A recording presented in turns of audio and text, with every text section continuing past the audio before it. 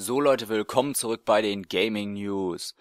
Äh, ja, ich hatte letztes Mal einen kleinen Versprecher drinne und zwar Call of Duty Ghost kommt am 5.11.2013, nicht wie ich gesagt habe am 11.05. Das ist vollkommener Blödsinn.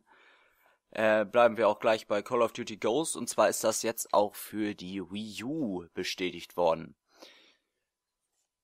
Das sagte Mark Rubin von Infinity Ward, dass das jetzt neben der neben den Versionen für die Xbox 360, PlayStation 3 Xbox One, äh, PlayStation 4 und dem PC auch für die Wii U rauskommen soll.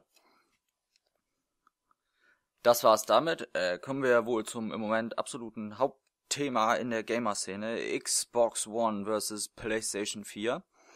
Da streiten sich ja die Gemüter. Was soll man nehmen? Was ist besser? Was ist wo besser?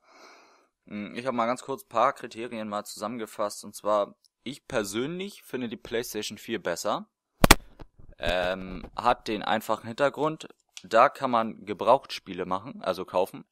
Äh, die haben ja so eine eigene Tauschbörse irgendwie für. Das kannst du zum Beispiel jetzt mit der Xbox nicht mehr, da du da auch irgendwie dauerhaft mit, keine Ahnung, mit, äh, mit dem Internet verbunden muss, sein muss. Das finde ich irgendwie besonders kacke. Dieser Online-Zwang, der nervt mich irgendwie total bei der Xbox. Ist meiner, meiner Meinung nach ein großer Nachteil. Genauso wie, dass du halt keine Gebrauchtspiele kaufen kannst. Abgesehen davon hat die PlayStation 4 etwas bessere Hardware und naja, Hardware halt, ne? Ist relativ wichtig heutzutage äh, bei Games, weil die Games teilweise grafikanfälliger sind oder höhere Grafikleistungen brauchen.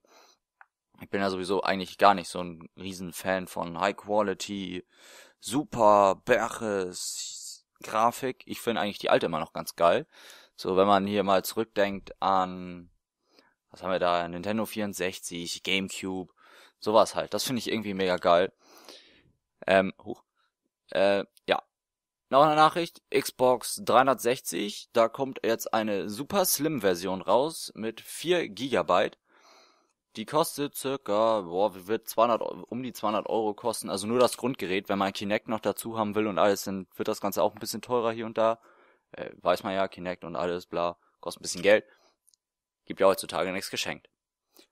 Das war's auch erstmal damit mit den Gaming News für diese Woche. Ich bedanke mich fürs Zuhören und sage bis zum nächsten Mal. Haut rein. Tschüss.